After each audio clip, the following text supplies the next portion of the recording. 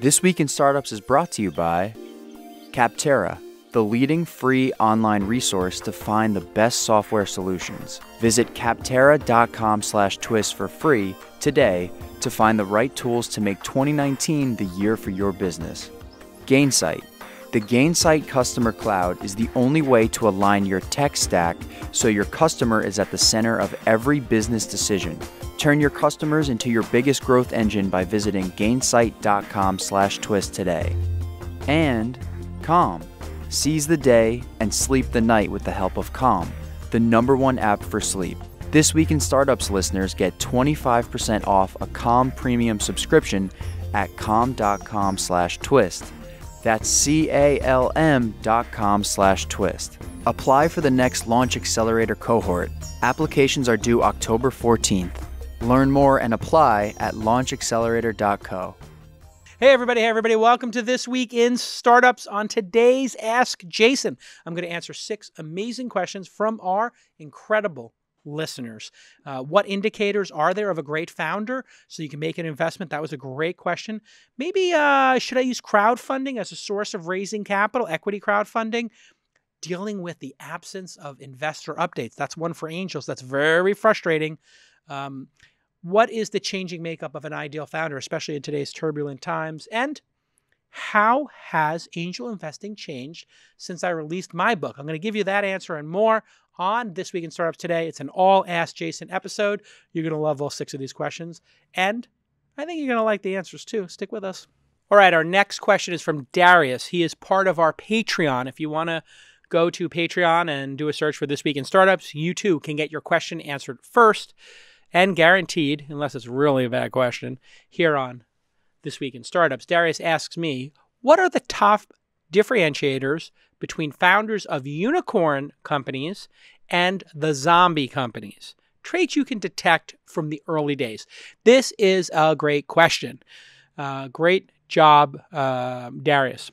So, what I'll say is, I find that the founders at the early stage who are obsessed with their product, have great craftsmanship in the product, and have product velocity tend to have a better shot at winning than those that do not have an obsession with their product, do not have craftsmanship in it, and do not have product velocity. So I'm going to break down this product piece a little bit here and give you some examples because examples always matter. So an example would be when I first saw Uber, Travis was showing it to me, and the taxi, it was called Uber Taxi at the time.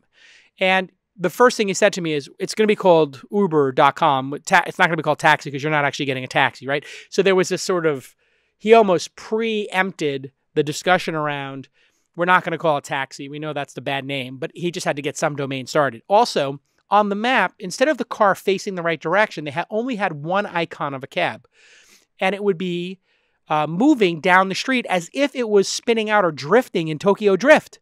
And you're like, why? And he's like, listen, we're, we're trying to figure out with the GPS how to make the phone, this is the iPhone 3G back then, we're going to try to make that uh, cab face the right direction. So we're going to have like five different versions of the cab and icons, right? That's a level of detail that you don't often see uh, from a founder.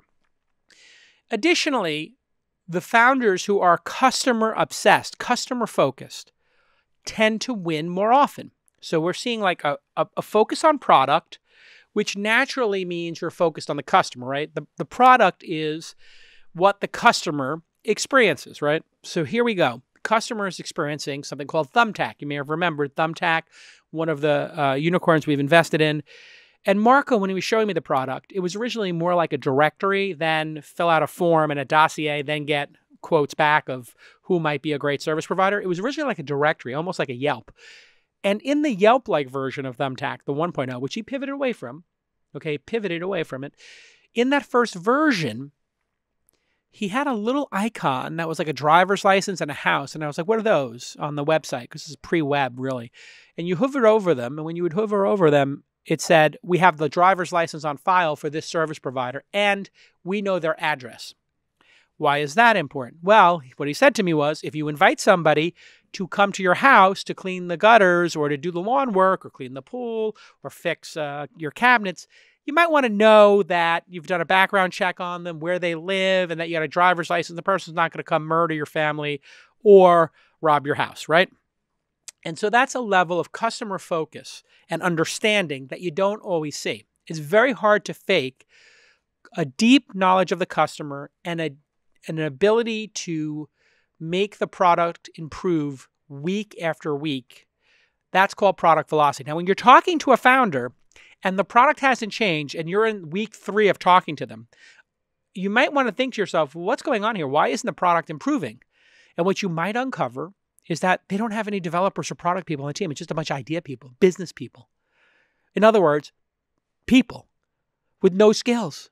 Well, that's not what you want to invest in. You want to invest in people with skills, people who know how to make great product, people who know how to make great technology.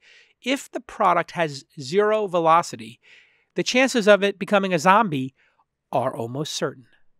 That's why we call them zombie companies, because they're just. Uh, dragging along and you ask them, hey, what's changed in the product? And they go, Ugh. That's why you want that product velocity. Now, finally, the founders that I see who really build the unicorn companies, the meaningful companies, they're defiant. They believe something needs to exist in the world, that the world needs to change in some way, and they are going to get it done with or without you, the investor and you're either going to be along for the ride or you're not. So, defiant without a focus on product, without a focus on customers is just delusion. Okay? There's nothing there's nothing there. It's just an empty can making a lot of noise. But if you have somebody who's defiant with skills to make a great product and deep customer knowledge, boy, do they have a chance to do something meaningful in the world. So that's what I want you to look at. Look at that product, understanding, knowledge, velocity, detail, craftsmanship, and ask them questions. Hey, how does the product work? Walk me through it. And then ask them questions. You see something that looks a little buggy, ask them, hey, what's going on with this? And if they say that's on the bug tracker, it's going to be fixed next week, then you check, hey, next week, did it get fixed? You're in no rush. Get to know the product, get to know the product velocity, get to know the founder, maybe even talk to the customers. This is a lost art. I want you to talk to at least three customers before you invest in a company. And Defiant alone is an empty can making a lot of noise. But defiant with those skills and with that customer focus means a chance at being a unicorn. Okay, great question, Darius. Okay, next up is Sahid. He is a Patreon member. You can go to Patreon and do a search for This Week in Startups and throw us two bucks, and you get yourself a bunch of uh, content. Uh, you get an ad free version of the show if you don't like ads. And you get to go jump the line, jump the fence, and get to the front of the line with Ask Jason. So here we go. Saeed asks, How do I deal with the absence of updates when investing through a syndicate? Specifically on AngelList. So, when you're an angel investor, you want to get updates from your companies, and sometimes they don't update you. This is incredibly frustrating. And for the first 100 deals I did, I was pulling my hair out. Oh my God, what's going on with this investment? And when the founders were in trouble, many of them elected to not send an update. And the reason they weren't sending updates was because the company was failing. Now, think about that for a second. Your company's failing. You have investors who have more experience than you typically, and they have more money to keep funding you. And instead of talking to them about your problems, you ignore your problems, you ignore your investors who can help solve them, and you hope that things will get better. So the next month you can send an update that has a chart that's going up to the right. It's the exact wrong dynamic you want to have with founders. So what we did was we put in our contracts in something called a side letter. A side letter is just an agreement um, that's outside of the normal scope of the investment documents. And our side letter says you'll send 10 updates a month with the following information in them revenue, burn, revenue spend, and you take those two numbers and you combine them, you wind up getting your um, your burn. How many how much cash is in the bank at the end of the month? How many months of runway that would be with that month's burn? Yada yada and they can then give you a little commentary about it. If you don't have that agreement in place, you're going to be chasing founders. The founders you're chasing are likely failing. So, to your original question, I don't think you should bother haranguing founders who don't want to send them. You should just not fund those founders anymore. You should just pass on investing in them. And you should just make an agreement with future founders that they will do this. And if you're investing a tiny amount of money, like two, three, four thousand dollars, maybe you don't have the ability to put any kind of uh, pressure on them in the negotiation to do this. But if you're putting in 25 or 50k, you obviously do. Um, and then here's a way to actually solve it in a non-confrontational way, because this can become like a daddy or mommy's checking in on you you know, toxic kind of relationship thing. And it has ha- that happened for me in the past with this one dipshit company from Y Combinator that refused to give updates to the syndicate that I convinced, or not convinced, I shared the deal with them. And so they, you know, a lot of people will look at me, my investing and want to follow me. So I'm not convincing them. They're convincing themselves, obviously. I can't put a gun to anybody's head. But I feel a little bit of responsibility. And they wouldn't send updates. And I was like, guys, your business is failing. You're going sideways and you won't update anybody. Why? And they're like, well, because we don't have to. And I was like, oh my God, that's the most Y Combinator entitled nonsense I've ever heard. Putting that aside, we have a tracker internally. The tracker has the months of the year. Somebody does email us in June. We send an email in July. Uh, hey, we didn't get June. Is it in the spam folder? Or do, what email did you send it to? Or did we miss it? You know, non accusatory. Then July, they missed July and we email them in August. Hey, we didn't get June or July. Haven't heard from you. Would love an update on our investment not accusatory, just would love an update on our investment in company name. Now you get to, okay, no update in August, you're three months in and it's September. Here's how you handle it no more asking for updates. Hey, Jane. Hey, Nick. Uh, would love to get an update on our investment in Acme Company. Which of the following dates works for coffee, lunch, or a quick Zoom, phone call, go to meeting, whatever? And you just put the three dates in there. Would love to know how I might be able to help. And so what you're doing is giving them permission to not write an update, but to do a phone call. And that shows that you're willing to put a little time in as well.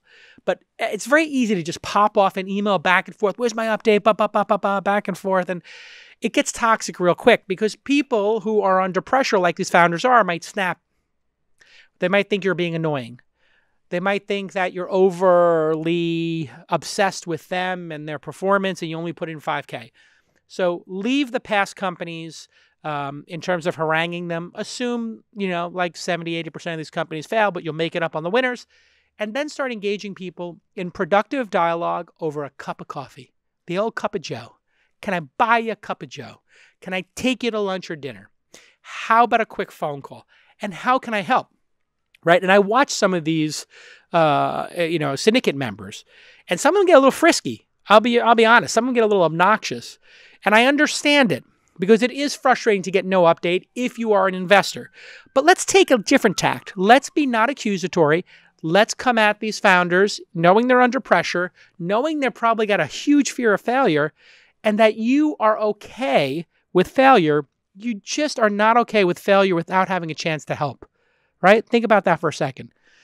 Everybody's big fear is failure. In fact, if you're the angel investor, your fear is losing your money. You're acting out of fear. That's why the tension's up a little bit, right? I can I can feel it in your in your question. And that's what they're feeling. They're scared too. So you're both scared. But you're both in the same boat. So you might as well be working together to get back to shore and not have this turn into a cannibalistic situation out at sea. Work together.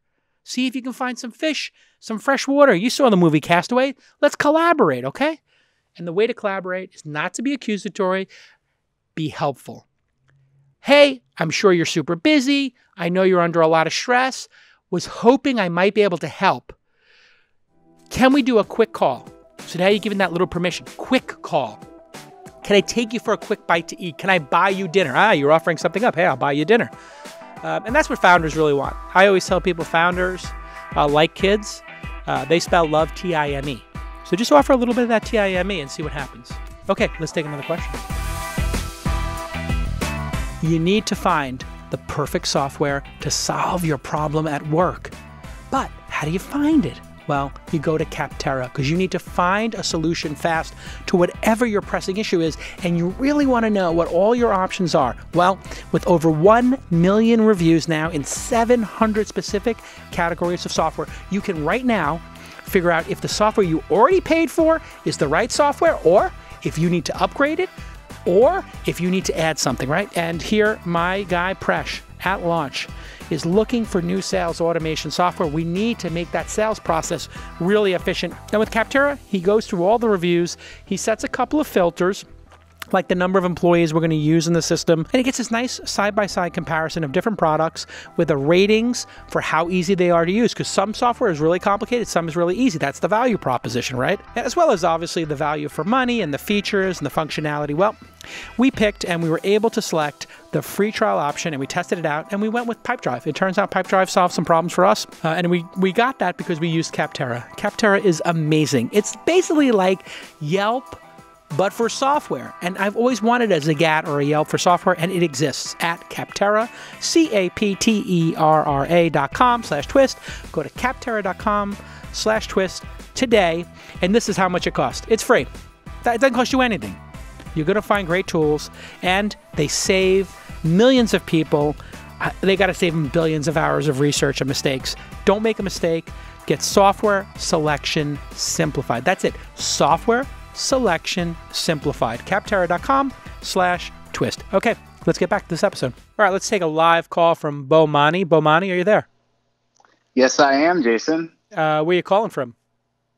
I'm calling from San Francisco. Okay, San Francisco. Where in San Francisco? Let's get a little more detailed here. The Tenderloin, uh, I take okay. it. The, the lovely Tenderloin. Uh, calling from Nopa in San Francisco, okay. north of the Panhandle, for the okay. listeners. No problem with that. Okay, if you're in the Tenderloin, I suggest you run, quick, get out of there.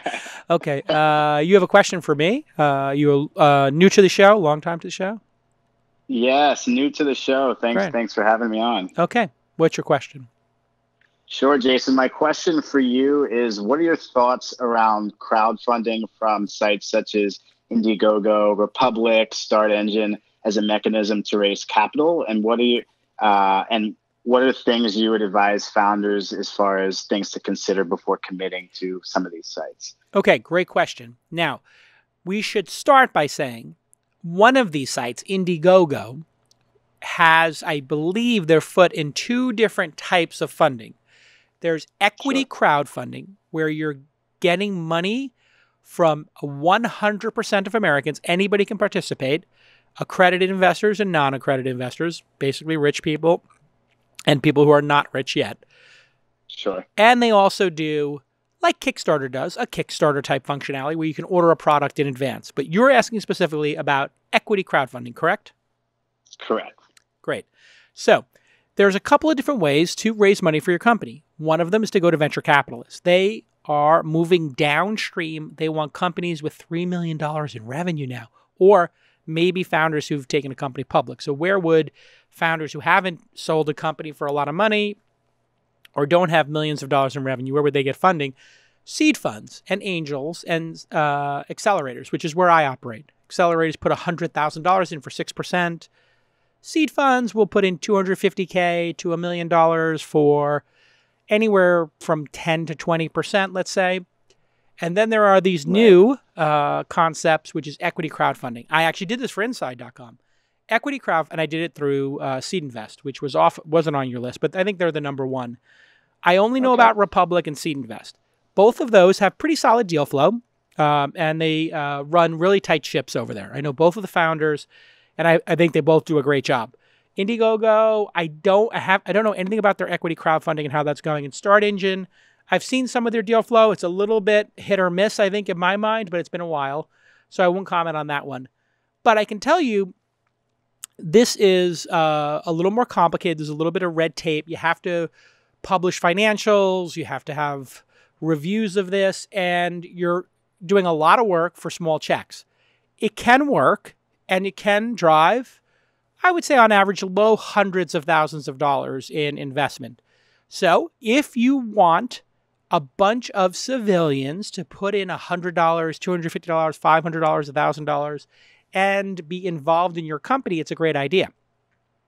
Of course, it's a lot of work because that means you're collecting a lot of checks and that's why these sites exist is to right. bring all that money together. So keep your expectations low as to the number of dollars that will come in and expect that it's going to be a lot of work.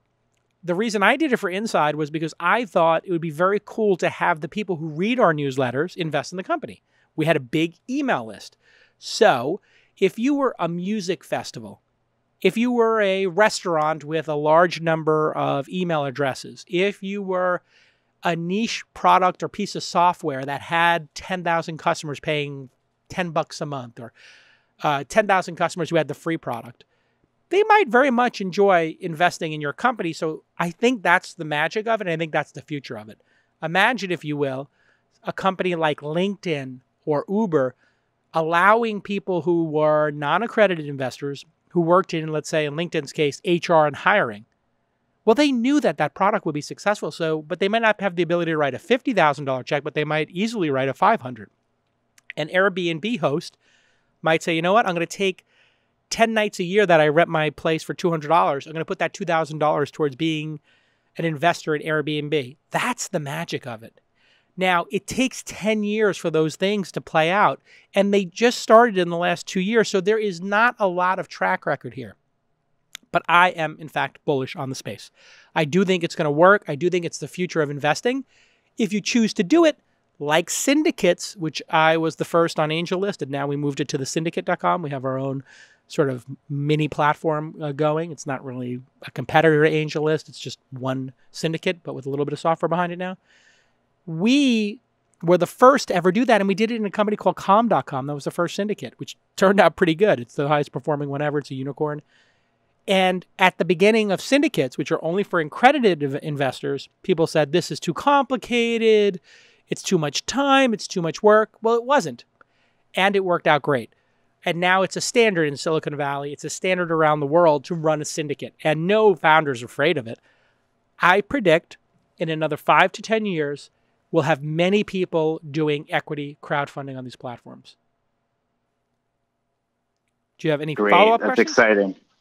That's exciting. Yeah, no, that's really exciting, Jason. I'm, I'm glad to, to get your insight and thoughts on on these sites and how powerful they can be, especially if it's uh, a B2C company and some of the some of the users love the product and want to continue to see it grow and be successful. Okay. Uh, well, good luck with your company and good luck with your fundraising. I would uh, I would start with Republic and SeedInvest. Those are the two I know the founders of. So I'd start there. It costs a little bit of money to do this, but actually those companies don't make a ton of money from this. I think they're going to make their money from having a little equity piece in your company. So I think there, right. there's a good alignment, right? Uh, so good luck right. with it, uh, and keep watching. Thanks so much. All right. Awesome. Thanks, Have Jason. a great day. Cheers. All right, we got another uh, question. This one from Patty. She wrote us with so many founders being let go recently. Uh, WeWork, I think, would be their JUUL. Uh, what will the new look of an ideal founder be from an investor's point of view? This is a great question, Patty. Very, very prescient, very of the moment. Well, I can tell you what it won't look like entitlement and smoking weed on planes. Smoking the weed on your G650. That era is over. Hard stop. Hard stop. No more 650, no more weed on the 650, okay? Both. Ixnay on the 650 and Ixnay. I mean, can you imagine WeWork CEO? All that bad behavior, it just adds up. Now, if the company was performing extremely well, we wouldn't be talking about any of these issues. If you want to have a G650, if you want to fly private, if you want to buy everybody lunch, you better be Google. You better be Facebook. Nobody's talking about Zuckerberg spending something like 10, 5 or 10 million dollars a year on security. They they have a fleet of jets at Google. You ever hear about the Google jets? You haven't heard about the Google jets in a long time. You know why? It's a money printing machine. Shareholders don't care if you're printing about perks if you're printing money. If you, listen, if Bezos wants another jet and he wants Amazon to pay for it, Google wants another 3 jets, go for it. They want to bring in the Niman Ranch, New York Strip. They want to go with a Miyazaki Wagyu. I don't care. Print me money. Got the money printing machine. You're good. But if you're a WeWork and you're renting $600 desks for 300 for $300 and you got all this arbitrage going on, man, come on. Come on. And this guy's walking around barefoot in front of Pete's Tavern. Come on. You can't be walking barefoot in New York. This guy's deranged. I'm sorry. I summer camp? Summer camp? This guy's running a summer camp? He's he's going to be a first trillionaire? I mean, I'm a insanely driven narcissistic person. You guys listen to the pod. Listen. I'm not walking barefoot in Manhattan. I don't have a G650, and I'm not saying I'm going to be the next trillionaire when I rent desks for a living. This kind of behavior is nuts. Barefoot in New York. Do you know how many people have puked in front of Pete's Tavern? There's so much gum on the street. Gum's the least of your worries. Do you, do you know how I used to walk my bulldog past Pete's Tavern?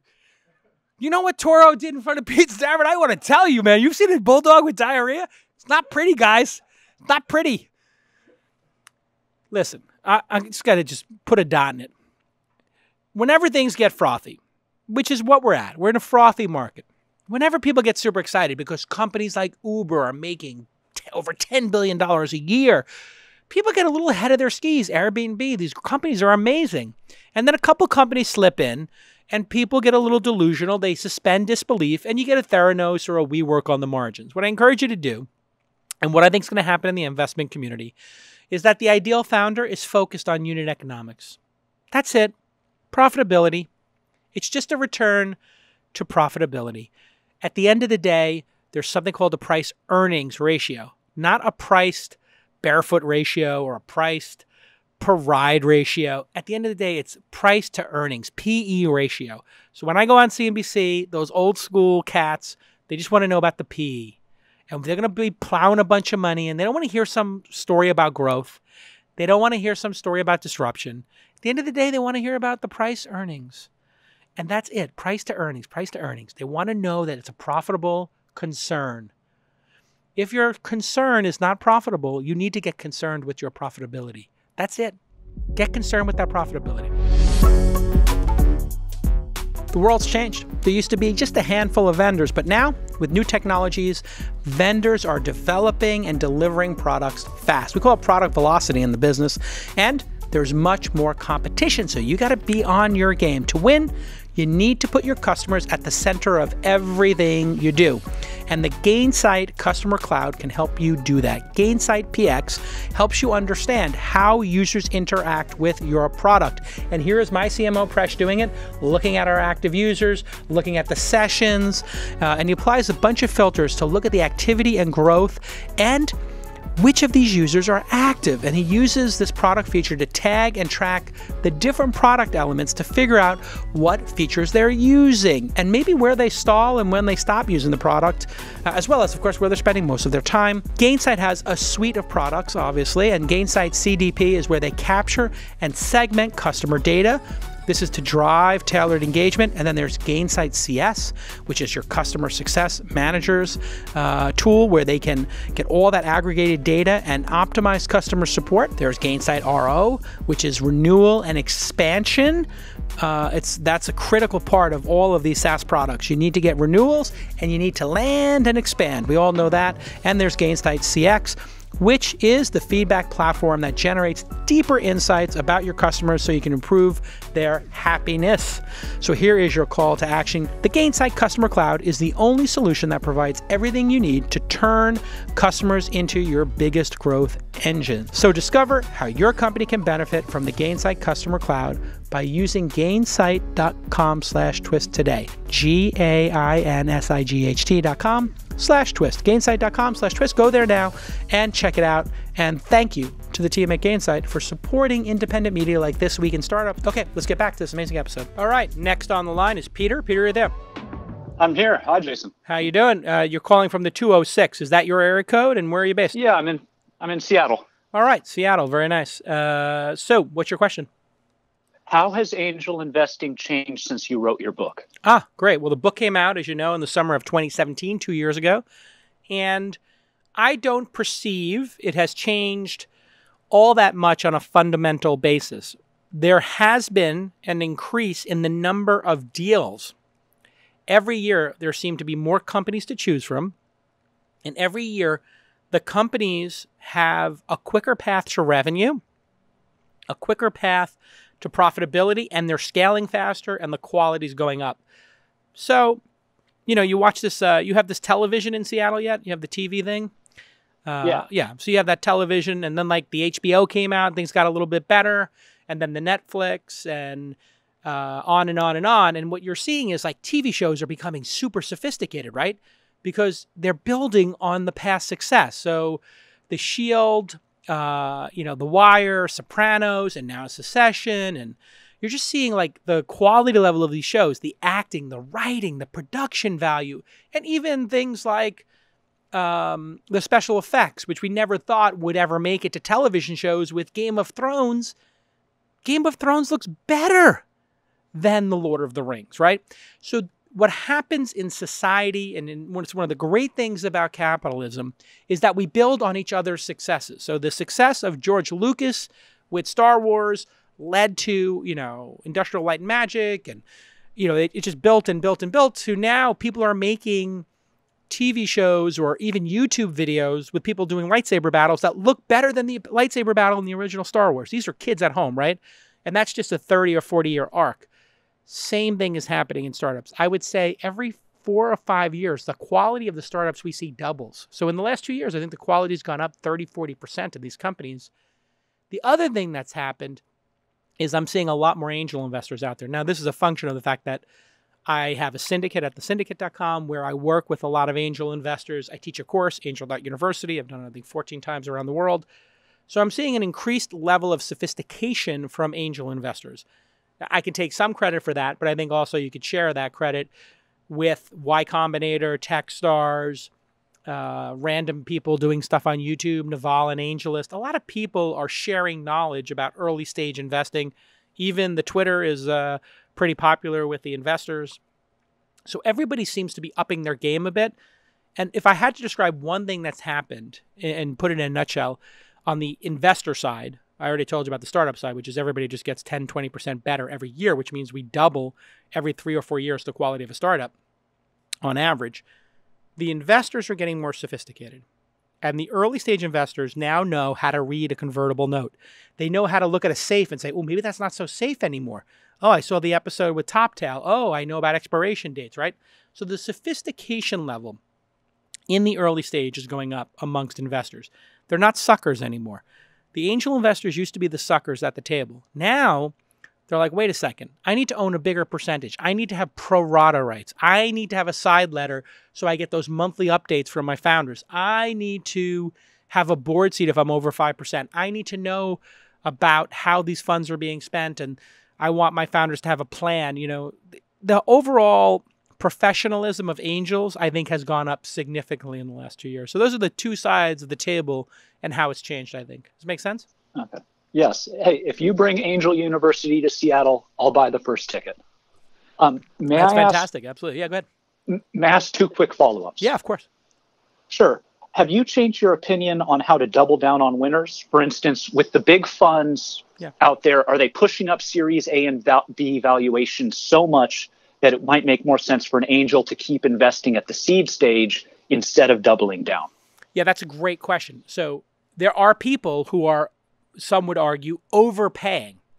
Now, clearly, we see overpaying before the IPO, right? There's been a lot of scrutiny in the last couple of weeks over what SoftBank paid for their shares of Uber, WeWork, and other companies. So, and then there was scrutiny before that about what Andreessen Horowitz was paying for their shares in companies. And then before that, um, you know, people were looking at Yuri Milner and DST and saying, are they overpaying? That typically was at the later stages, right? That CD, pre IPO.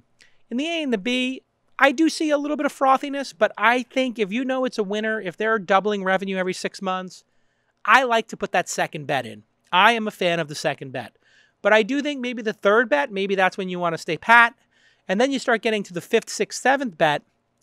Uh, if you even have that opportunity, it might be time to start thinking about maybe I sell 10% of my position. Maybe I sell a third of my position, take some chips off the table, right? And, and that's the way to play the overvaluing of startups. I'll give some caveats okay. though. There were people who sold Uber at the four or five billion dollar valuation who were in the five million dollar round, and it was like, well, this is a really big lift here. You know, I'm, I'm no pun intended, but I'm a thousand x on my investment. You wouldn't be a thousand x on your Lyft investment, obviously, it's a second tier company. But putting that aside, if you were on the Uber side of the thing, you would. And so you got that massive Lyft and Uber, uh, and you didn't get an Uber uh, Lyft and Lyft. But putting that aside, um, that was a mistake because there was a 10x yet to come. I did sell some Uber when it was uh, probably in the $50 billion range, which is what it's trading at right now. And I did that to Masayoshi Son a little bit before that. So paring a little bit of your position early gives you that, what we call in the industry, idiot insurance. Just a little bit of covering your bases times a 100, times a 1,000. If you got one of those big winners and you're not independently wealthy and can let it all ride, I like taking a little bit of chips off the table, putting a floor into your uh, how much you've made. I like that. Now, would I be plowing money? This is why I don't play the public markets. If you're playing the public markets, as we've seen, the pricing has been a little bit high or a little bit low for startups.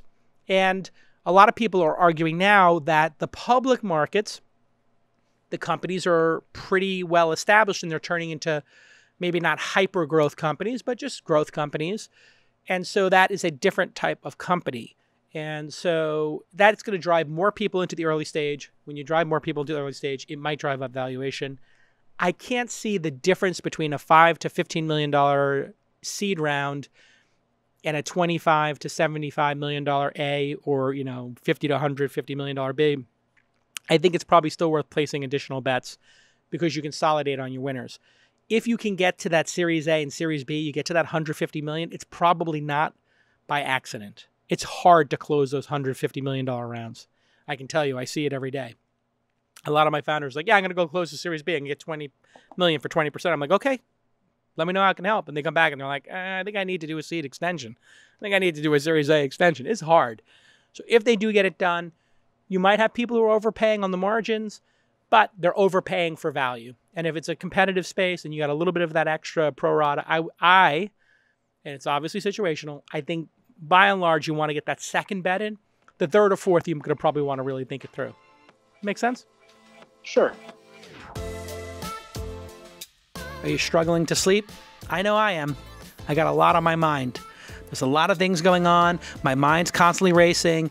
I'm investing in companies. I'm doing the pod. I'm writing books. There's a lot of stress in my life, right? I got also got to raise a family. Well, one in three U.S. adults does not get enough sleep. Now, when you think about getting sleep, I want you to think about Calm.com.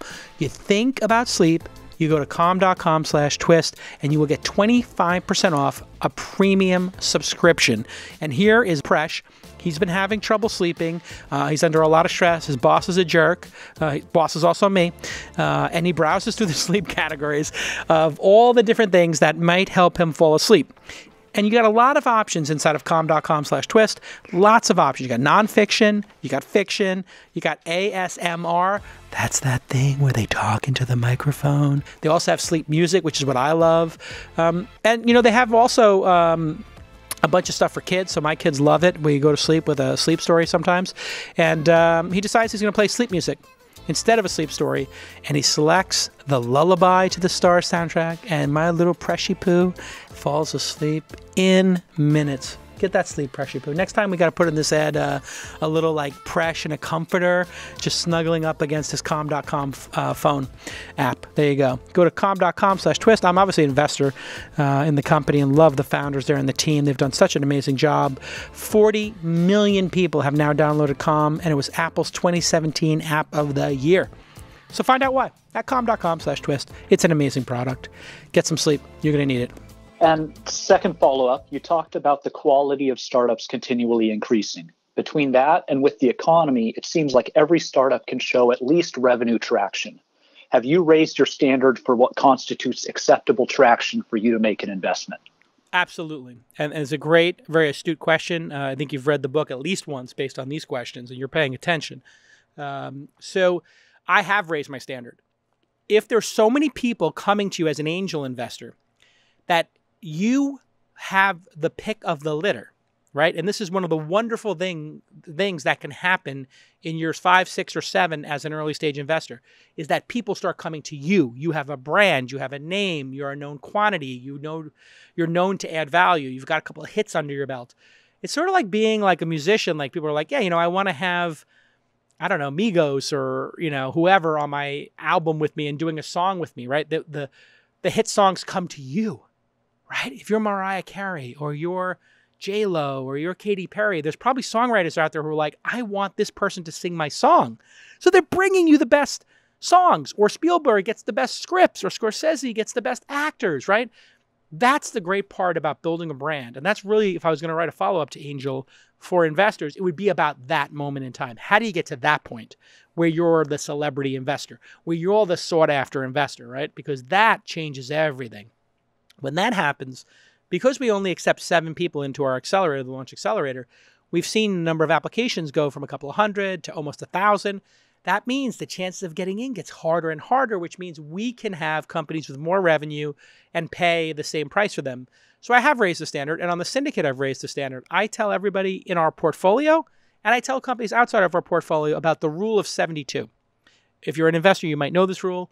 Rule of 72, very simple. If you take a period of time, let's say years, the number of years it takes to double your money, divide that number into 72. So you divide 10 into 72, you're growing 7.2% a year. Oh, no, I'm sorry. You're going to double your money every 7.2 years. You divide uh, 20% growth a year into 7.2, it's about three and a half years, right? So we tell our startups, we want you doubling your revenue every six months. If you're doubling revenue every six months, come back to us and we'll know because we read the updates. We're likely to give you a preemptive offer. We might invest another million dollars. So that's what we're doing now. We're studying our portfolio to your previous question about you know following on and doing more investments, doing a preemptive funding is the master stroke. You see that this person is performing, they're doubling the revenue, you know, faster than every 6 months. Well, that means 10, 15, 20% month over month growth. Oh, yum yumskis. Mm, I see that 20% month over month growth consistent for 3 or 4 months. I'm thinking to myself, wait, they figured something out. I mean, I have to dig a little deeper. I have to check, make sure they're not burning through so much capital that it's a blue apron like situation, maybe where the CAC and the LTV got a little out of whack. You may have seen. You don't want people selling $100 bills for $30, but it's very hard to fake that growth with customers who love you. So I think I have raised my standard, yeah, and I keep raising it. And then I wonder sometimes, would these other investments I made actually clear market? with me now, am I missing something? So that could be a leak in your game too. So you got to keep that in mind. You want to still take some risk. So you may you'll see with the syndicate that we're releasing some companies that are pre-launch. And we're trying to do maybe one pre-launch company for every six, seven, eight, maybe 10 even launch companies with revenue. Because we don't want to just limit ourselves to only doing the things that have some numbers on the board. We might want to take some people from the draft. Why don't I take a somebody from the second round that could become an all-star, right? Draymond Green drafted in the second round. But you know, he got that hundred million dollar contract, right? So that's what we're looking for. We get, we still want some of those diamonds in the rough that could still develop in the in the coming years. Make sense? Yes. Hey, speaking of the syndicate, I've made twenty investments through the syndicate. I love my, what you all, all on mine. What? All on my syndicate or All other syndicate. syndicate. Oh wow, that's the great. Deal, the deal flow there is so much better than what I can find locally. Uh, you know, Yeah. please keep it up. I could ask you questions all day, but yeah, and thank you for it. being generous with your time. Oh yeah, no, no. It's listen. It's it's the great joy of my life actually to write those deal memos, and I and I do think about people like you, Peter. I write that deal memo. I take it serious. I take it serious, and I hope that you, when you read that deal memo, you know that there's 15 people here in San Francisco or so, really thinking through like, are we presenting you with that? You know, we're we've got skin in the game, obviously, because we're putting money in, but we don't want to put up garbage. We don't want to put up stuff just to send you a deal. We really want it to be high quality. We want to explain to you why we think it's high quality. And we really want you to have that diversification and hit 30, 40 deals so that you have a chance of an outlier. And we encourage our angels uh, who are partnering with us and who are part of this team sport with us called Angel Investing to join every single syndicate on AngelList, SeedInvest, read every deal memo on Republic, and compare them. Look at the quality. Look at the quality of the founders. Look at the quality of the product. Look at the quality of the revenue. Look at the quality of the team. And really kick the tires and read that deal memo. And if you look at the detail level we put into that deal memo, Ashley, our managing director, and I, and the companies, we forced them to do a webinar, right? So you ask those questions. We put the founder's email in there. We put their phone number in there. We tell them, you know, you got to answer questions if people have questions. You got to send those 10 monthly updates uh, a year. And we really want them to perform at a high level because most of the companies are going to fail. We all know that. So at least if we really do the work up front, we can feel more confidence that we're at least doing the best we can, right? There's going to be risk, but let's have a plan to execute against. And the plan is the highest quality entrepreneurs with the highest quality revenue, with the most loved products, with the best customers, right? And if you do that, I believe you have a better chance of winning. And I'm glad to be on the journey with you. Thank you for reading the book and thanks for calling in, Peter. All right. Thank you. Have a good day. All right. You too, brother. Okay. Let's take another call. I got uh, Alexandra on the line. Are you there? Hi, Jason. How are you? I'm well. How are you doing? Where are you calling from? Vancouver, Canada. All right, love it up there. Very nice. Uh, where Slack is and uh, Microsoft, a lot of people. Amazon got offices up there. Beautiful town. Yeah, and we have a few uh, amazing Canadian companies headquartered here too, and hopefully Care Team's going to be one of the big next success stories. Great. Tell me your question. So one of the things that often investors ask in meetings is, "What's your competition?" And we're entering a market, healthcare, where a lot of things are still done by hand, fax, and verbal and paper. Yeah. And so our real competition is the status quo, but they want to name companies that we're competing with. Mm. So how do you recommend we answer that question? It's a great. It's a, this is a great question, and it, from you, and it's kind of a silly question from them, but it's a checkbox question. In other words, you're in a meeting. Tell me about your competition. Tell me about your team. Tell me about your market size. That's in every book about how to be a VC, how to be an investor. These are like the boilerplate questions. You kind of got to have a good answer for them. So typically, the way people answer them is they got that quadrant, four quadrants, and in the upper right is you, and the bottom left is like the old people, and then the top left is the dumb people, and the bottom right is like the semi smart but sort of dumb people, and you're the top right. So if you were going to do it for, you know, uh, trading stocks, you'd be like, okay, what's the cheapest and what's the most uh, what's mobile? And it's like, oh, Robinhood, it's free and it's mobile, right? And then like, oh well, E Trade kind of sucks, and Bloomberg is expensive and terminal, so they're at the bottom. They're expensive and it's slow, and this is free and it's fast and it's mobile, right? So you can do that kind of thing. I think what you have to do is when you're in this kind of situation where you're replacing Microsoft Office, right? Like a lot of things were previously done in Excel, right? Excel was the Swiss Army knife of SaaS. Now people are like, oh yeah, this used to be, I used to do my ticketing in an Excel sheet. I used to sell tickets and I copy and paste people's name into an Excel. Then they came out with Eventbrite, right? And so people don't buy that, right? And they want you to put Ticketmaster up against Eventbrite, but Eventbrite was going after a different market. Markets that didn't have high price tickets in venues that Ticketmaster owned, right? So how do you make an Eventbrite and say, oh, it's up against Excel? And then people are like, well, that's not a competitor. That's a part of the Office suite. So anyway, this is a stupid question that you're going to deal with. And I suggest you zip, zip, zip out of that question. People have not yet built software for this. Nobody's gotten to it yet. People use Excel. People use, you know, uh, Word. They use whatever, Airtable. Airtable's kind of sophisticated. But anyway, people are using these uh, hacked together duct tape type systems. But like Eventbrite, we're building it for the first time. Like Slack, yeah, some people used IRC, some people hacked together their own software, but Slack made it, you know, more formalized, right? Like HipChat did. So I would then go right to your customers and say, here's how our customers did it. So instead of you telling the investors what your competitors are, have the examples of your customers. So you say, meet Dr. Judy Smith. She told us that her office used to put this information on index cards. Meet Dr. J- uh, John Smith. John Smith told us he used Excel. Meet Susie. Susie said this. Dr. Susie said that. And now you're using your customers to explain it, right? So if you were looking at Square, when Square said, we're going to build this little card reader, they say, well, who's your competition? It's like, well, people at a farmer's market don't have electricity nor do they have a phone line. So they're not using one of those old credit card terminals that cost $100 a month to rent that you see in restaurants that need to be mounted on the wall. So they just said, you know what? Screw it. We're going to let our customers speak. Customers speak. Have your customers explain to your investors how they use your product, how they used it previously. And here's the masterful question for you What would they do if your product went away? So you got some customers addicted to your product, right? Now you ask them, what would you do if the product mm-hmm. went away? And when they say, is the product going away? Can, can we buy a license to it and we'll maintain it ourselves? Please don't go away. We'll pay you twice as much. That's what we do. When we're doing diligence on companies, we ask the customers, what would you do if this company went away? How would you solve this problem? So I'm just giving you a little bit of like the next question. I'm giving you a little bit about what happens in the room when you leave. All right? When you leave, mm-hmm. this is what we talk about. Is this mm-hmm. solution so good that the customers would freak the beep out if you went away? And that's what you need to do. That's real product market success.